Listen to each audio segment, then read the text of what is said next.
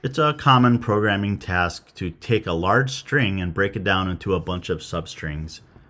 And Python has the split method which splits a string into a list of substrings which are called tokens. And all the tokens combined form the larger string if you put them all together. And a separator character indicates where to split up the string to create these tokens.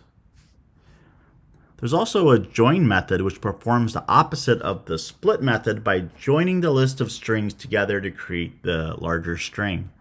The split and join methods are sometimes used together. Let's try out some examples of this in Python and see how they work. So here in Python we have a string message that says subscribe to the YouTube channel Appficial and then we print the message out to the screen and we get this right here. And we can we can split this up. Let's show you how to do that. Let's just create a variable called tokens and say message dot split. It's that easy. And we can print out all the tokens as well. Print tokens and see what happens and you can see that it kind of just chopped it all up, put it in an array, and here's every single separate word split up and comma separated. If we happen to have a bunch of like hyphens randomly in the middle of this string, we could split it up by the hyphen instead of by the space, which is the default character. Now check this out. Everywhere there was a hyphen, it split it up. You could split up a string by any character that you want. I'm to undo all this. And let's just say we had an exclamation mark after subscribe. We could do a split on the exclamation mark and we should have two tokens.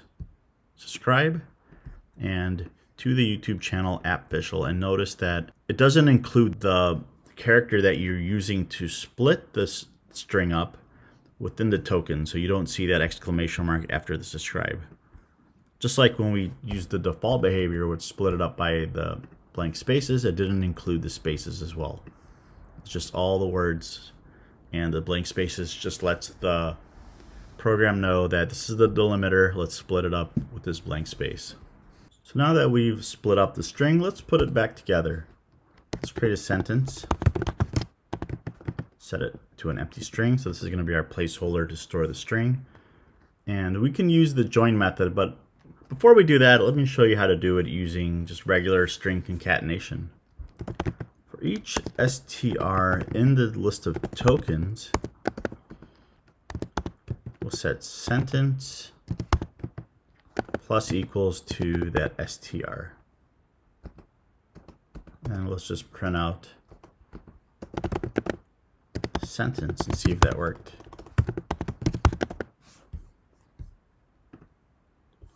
And all right, it did kind of work, but there's no blank spaces in between. So first, let's get rid of this exclamation mark. We don't need that anymore. Run the program again.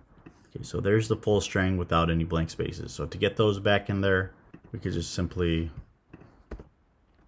say sentence plus equals blank space and then add the string to it. And wait, that fixed it kind of, but it put one in the beginning. So let's move that to the end, or actually just right here. It doesn't really matter. And there we go. That looks a little bit normal. So that's a little complex to glue together a bunch of tokens and create a larger string. So it's a lot easier to just use the join method.